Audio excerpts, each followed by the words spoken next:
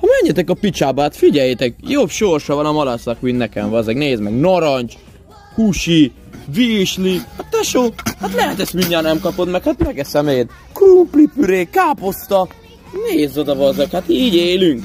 Én meg már két hete nem ettem húst, hát hogy van ez, Kocsek? Szegény Diego se tud mit mondani, ő meg zabálja a száraz tápot.